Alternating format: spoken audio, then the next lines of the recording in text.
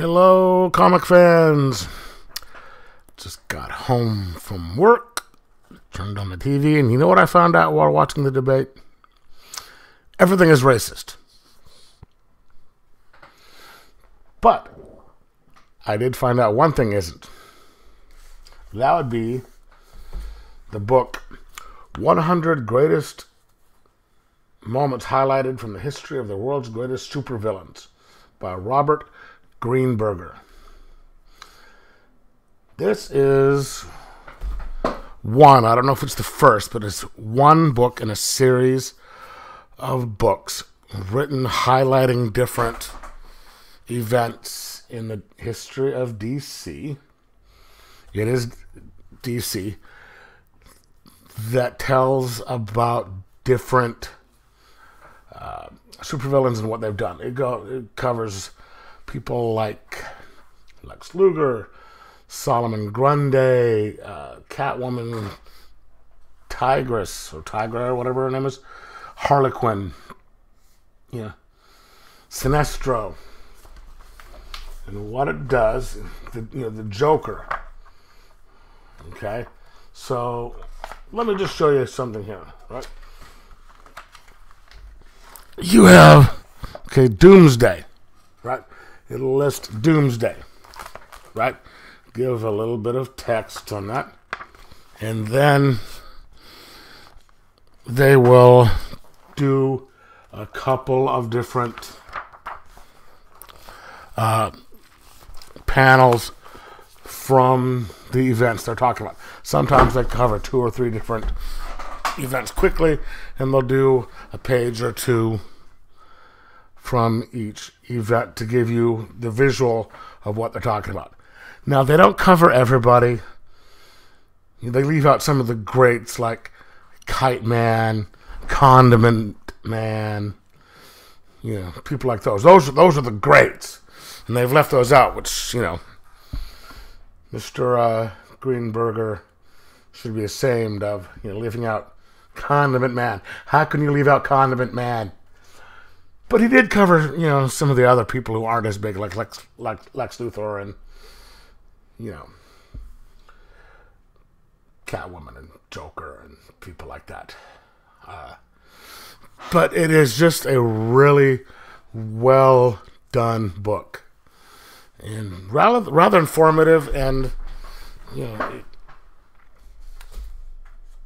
especially for people who haven't who are new to comics or don't know the complete history of everything in there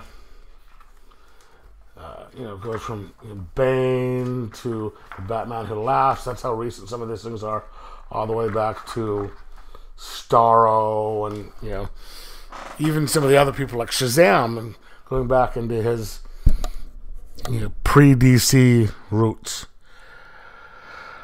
Um, yeah, this is a this is a really well done, well researched book giving credit where credit is due to stuff. And uh, I'm telling you, if you are into this type of stuff, you want to know history of things, pick it up. I managed to get this for ten dollars at Barnes and Noble, uh, which is a lot less than I'm sure it would have been. Uh, but I'm done with this one, and I'm probably going to move on to. I have two other books. I have the Justice League and I have the Batman one. I don't know which one I'm going to get after this or read after this.